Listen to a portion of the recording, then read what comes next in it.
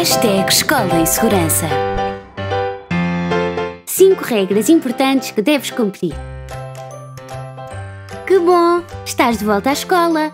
Podes voltar a brincar e a aprender. Mas vais ter de ter muito cuidado contigo e com os teus amigos. 1. Um, lava muitas vezes as mãos com água e sabão. Antes e depois de comer. Antes e depois de ir à casa de banho.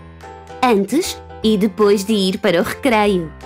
Se quiseres, podes cantar uma canção. Quando a música acabar, as tuas mãos estarão bem limpinhas. 2. Mesmo com as mãos limpas, não deves tocar na boca, nariz e olhos. 3. Quando tossires e espirrares, tapa a boca e o nariz com o braço. 4. Se estiveres triste ou zangado, não tenhas medo de dizer. 5. Se sentires dores de cabeça, se estiveres muito quente ou cansado, também deves contar. Estamos cá para te ajudar. E agora que já sabes algumas regras, ensina a tua família e os teus amigos.